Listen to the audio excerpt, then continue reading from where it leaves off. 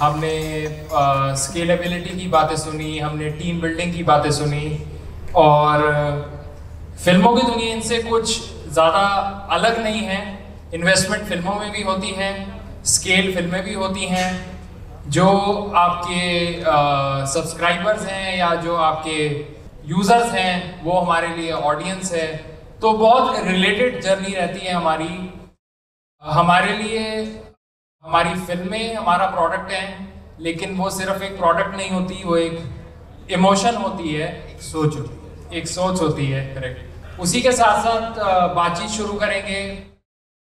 हमारे आज के खास मेहमान हमारे मित्र मेरे भाई अभय अत्री जिन्होंने पिछले दशक में बहुत अच्छा नाम कमाया है। पंजाब का नाम रोशन किया है और पंजाब एंजल्स नेटवर्क में आज खास आप हमारे साथ जुड़े। इसका मैं पंजाब एंजल्स नेटवर्क के ऑर्गेनाइजर्स और हमारे अज़ीज़ मित्र साहिल मक्कड़ जी का खास धन्यवाद करना चाहूँगा। तो मेरे से पहले जोरदार तालियाँ अभय जी तक जी। Thank you thank you Abhay ji बात करेंगे स्टार्टअप्स की और स्टार्टिंग जर्नी की। तो स्टार्टअप्स की स्टार्टिंग जर्नी और एक्टर्स की स्टार्टिंग जर्नी क्या, कितनी सिमिलर है, कितनी डिफरेंट है? थोड़ा स्टार्टिंग के बारे में बताएँ। सी एक्टर्स का भी जो स्टार्टिंग जर्नी होता है, एक स्टार्टअप होता है, आप लोग भी एक कंपनी खड़ी करते हैं then you try to find people who will invest in the company and all. So, as an actor, हम लोग भी एक जब हम ऑडिशन देने जाते हैं, या हम किसी प्रोड्यूसर या डायरेक्टर से मिलते हैं तो हमारा काम भी ये होता है कि, सर, आप हम पे पैसा लगाओ। पाँच करोड़ लगाओ, दस लगाओ, एक लगाओ, या जो भी लगाओ। So we have to convince the other person कि हमारा ये टैलेंट है, या हम इतना बेच सकते हैं, और जो कि आजकल जो चल रहा है, कि आपका सोशल मीडिया पे फॉलोइंग कितना है। आप the talent is now secondary अगर आपका social media is good and अगर आप सोशल मीडिया पे आपका नाम डालने से एक मिलियन लोग, दो मिलियन लोग देख लेते हैं तो आपको प्रियोरिटी थोड़ी ज़्यादा लग जाती है तो आई थिंक एक्टर्स का भी थोड़ा ऐसा ही है, हमारा भी स्टार्टअप होता है, एक फाइनेंसर आता है, वो डायरेक्टर को हायर करता है डायरेक्टर आगे एक्टर्स राइटर्स पूरी टीम हायर होती है और एक स्टार्टअप होता है।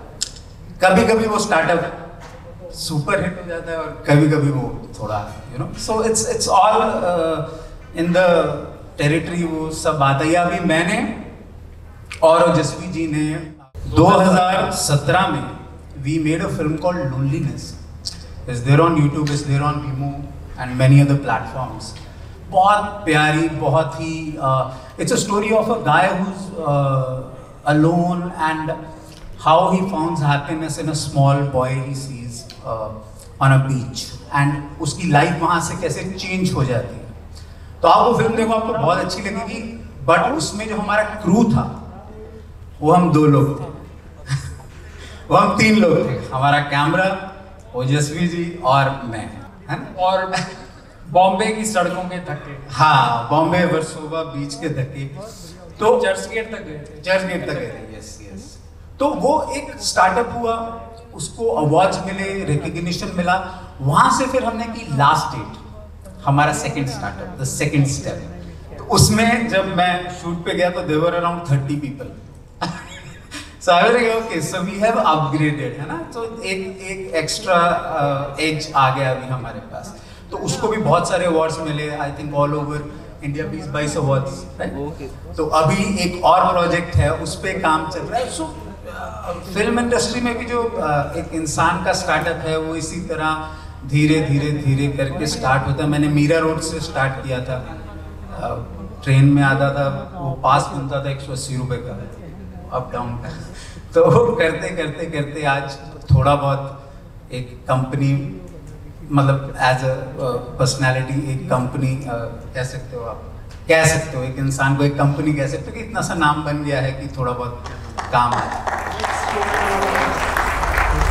जैसे एक स्टार्टअप अपने इनिशियल टीम पे, एक फाउंडिंग टीम को बिल्ड करने में बहुत ज़्यादा रिलाई करते हैं। एज एन आर्टिस्ट आप कैसे, आप अपने साथ एक परमानेंट टीम किसको रखना पसंद करते हैं? या as an advisor as a mentor कैसे लोगों को आप अपने साथ रखना पसंद करते हैं? या किन लोगों को, किस टाइप के लोगों को आप अप्रोच करते हो? May be to groom yourself और to take an advice on a certain kind of a film that has been offered to you और to you know may be say yes और no to certain set of things. कैसा process रहता है ये? सी अभी जो process चल रहा है वो बहुत ज़्यादा ये है कि ऑडियंस बेस्ड एक बन गया है। तो आपकी जो लाइफ है वो अ, सारी की सारी सोशल मीडिया पे है। तो मेरा भी एक यूट्यूब चैनल है जिसपे मेरी पूरी लाइफ आती है।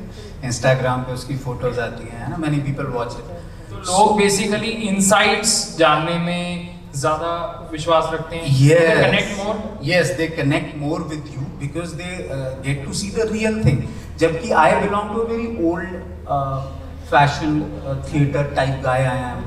तो uh, तब बोलते थे कि आप अपना रियल सेल्फ कम से कम दिखाओ सोशल मीडिया पे कम से कम जाओ सीधा स्क्रीन पे दिखो। बट अभी वो टाइम इतना चेंज हो गया है कि सोशल मीडिया से ही आपको जो आपके लोग हैं जो आपको देख रहे हैं आपके सब्सक्राइबर्स हैं वही आपको बता देंगे what to do next they write in the comments they will even catch छोटी छोटी आपकी चीज़ें कि भैया ये है ऐसे है अगला ये करो अगला ऐसे करो अगला ऐसे करो। So you get inspired as such कि आपको आगे आप आपने एक प्रोजेक्ट किया लोगों को पसंद आया नहीं आया तो वो आपको नीचे पता लग जाएगा मतलब कांस्टेंट एक ऑडियंस फीडबैक आपको मिलता है। मिलता रहता है। It's very much similar to a theatre you do the acting and साथ के साथ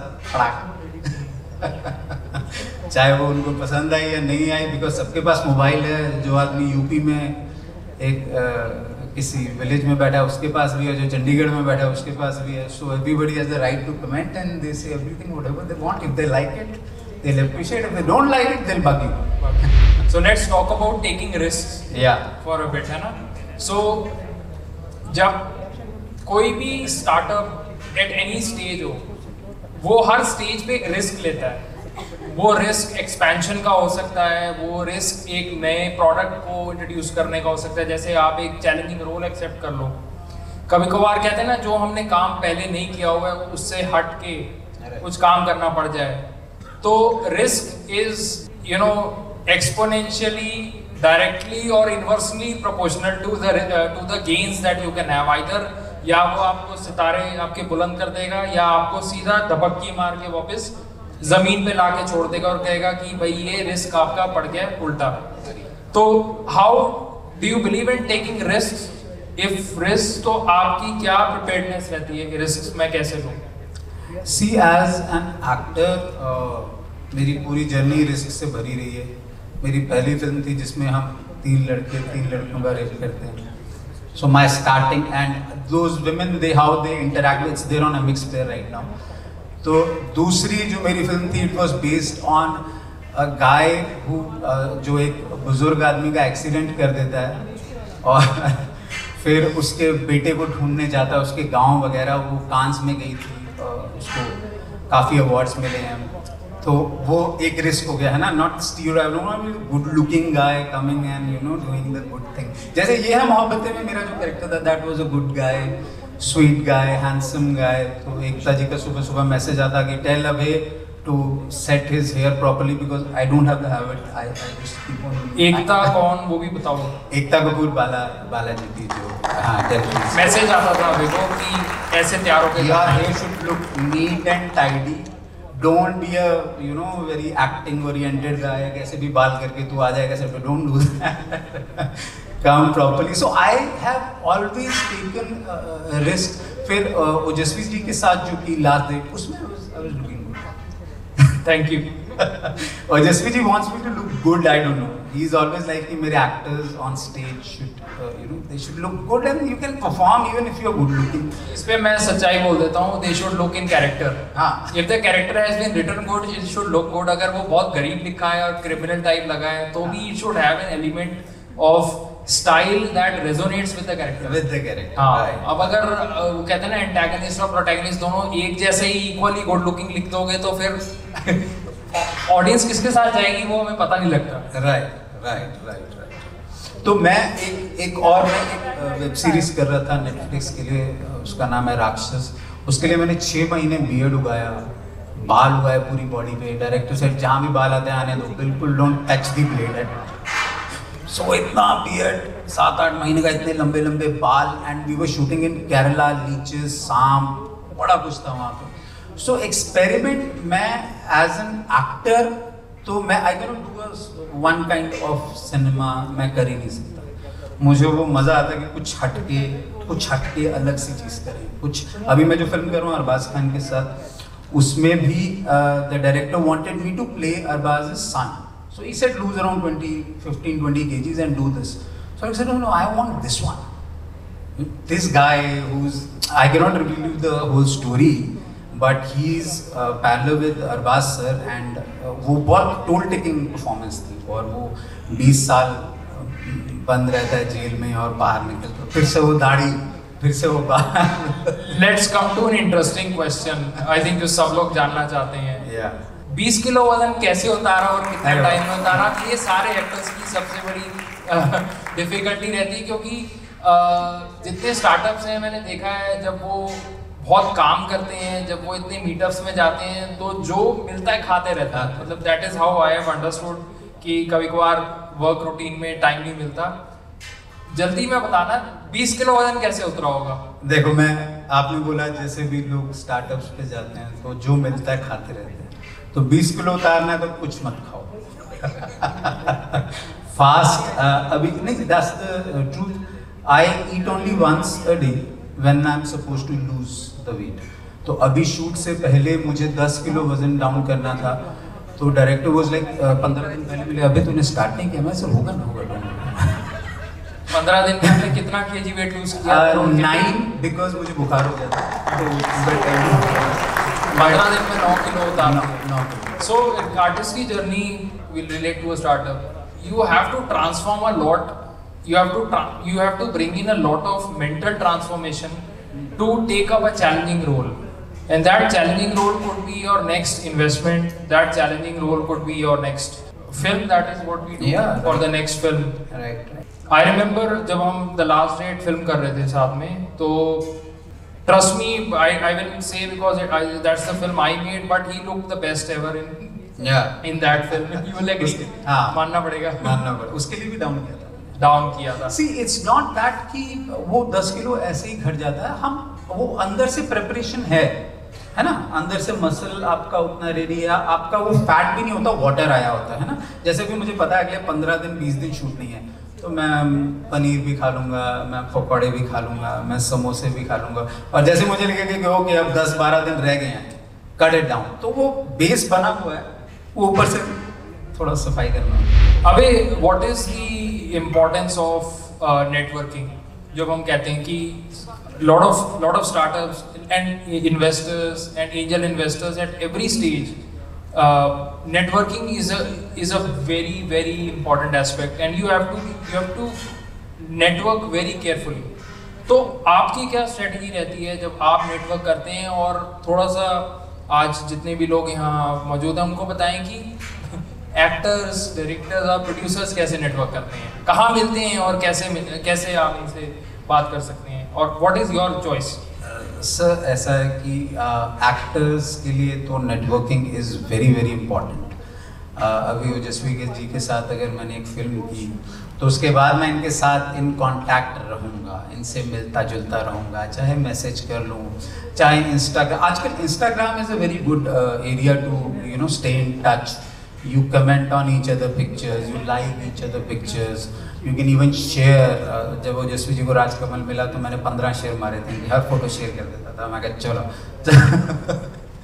सो so, ये चीज़ बहुत बहुत इम्पोर्टेंस रखती है बिकॉज़ हमारी इंडस्ट्री में अगर आप दो महीने इंडस्ट्री से गायब हुए तो you come back to zero zero means zero it is like out of sight and out of mind ये फ़िल्मों में बहुत दफ़ा होता है कि यार ये एक्टर तो मुझे तो सदियों के बाद नज़र आया है हाँ। फ़िल्म स्क्रीन पे। तो वैसी फील आनी शुरू हो जाती है बिकॉज़ एक आर्टिस्ट इतना एक इमोशनल और फ़िज़िकल इन्वेस्टमेंट कर देते हैं एक रोल में कि अगर वो बहुत टाइम तक नहीं दिखेंगे तो वो आउटडेटेड फील होने शुरू हो जाते हैं। Right so the social media is the place जो अभी बीच में आ गया है। अगर आप, अब फॉर एग्जांपल मैंने एक एंडोमॉल शाइन के लिए एक वेब सीरीज़ की है, उसको शूट हुए को डेढ़ साल हो गया राइट अभी कुछ टाइम में वो खैर रिलीज़ हो जाएगी। अब वो डेढ़ साल का पीरियड और उससे पहले कोविड कोविड से पहले मैंने ये हम मोहब्बतें किया था। तो वेरी लॉन्ग गैप बीच में म्यूज़िक वीडियोस वगैरह आए हैं शॉर्ट फिल्म्स आई हैं मेरी बट वो लंबा गैप हो गया। अब उसके बीच में वो जो गैप है वो भरा ब्लॉग्स ने वो भरा इंस्टाग्राम ने वो भरा यूट्यूब ने। तो is it okay and safe to adopt to new technologies new mediums new platforms to market yourself? Definitely if you see Covid के बाद जिस तरीके से आपका O T T platforms boom किए हैं and the kind of content you guys are watching right now on Netflix और on Amazon Prime वो पहले देखने को नहीं मिलता था बिकॉज़ आपको एक एक वो टेक्नोलॉजी नहीं दिया ना वो that platform is from the technology आज से अगर मैं चार, पाँच साल पहले बोलता कि भाई आज के बाद फ़िल्में लैपटॉप पे रिलीज़ होंगी तो कौन उसको उसको उस बात को डाइजेस्ट करना भी एक्चुअली पंजाब के एक्टर हैं बड़े फ़ेमस राणा जंग बहादुर। तो मैं उनके साथ एक ऐसी कंपनी को मिलने गया था। They told us this thing seven years back कि सर आने वाले टाइम में फ़िल्में यहाँ पे release and this not possible यार एक हमारा रेड कार्पेट होता है यू नो एक लॉन्च होता है एंड वगैरह. सर नहीं sir the future is this within five ten years this is what he said this will happen so I I think future बड़ा होता जा रहा है कि छोटा होता जा रहा है? बड़ा होता जा रहा है बट आपके हाथ में आ रहा है। मैं मैं इसको बोलूँगा कि फ्यूचर बढ़ता जा रहा है। हाँ। फ्यूचर हर जगह है। Cinema is is an experiential platform अगर आपको एक फ़िल्म को देखना है तो वो आप अपने लैपटॉप या Even on your फोन्स पे mobile. देख सकते हो। लेकिन अगर आपने एक फ़िल्म को एक्सपीरियंस करना है तो आप थिएटर में जाके देखें क्योंकि थिएटर में बाहर आई थिंक टैगलाइन लग जानी चाहिए। अब हर ट्रेलर में लिखा आता है कि एक्सपीरियंस इट इन सिनेमास तो सिनेमा इज़ मोर एक्सपीरियंशियल जैसे अ, मैं कहूँगा। राइट बट वो अभी ऐसा था पहले थिएटर वालों का भी बहुत मनोपली होता था।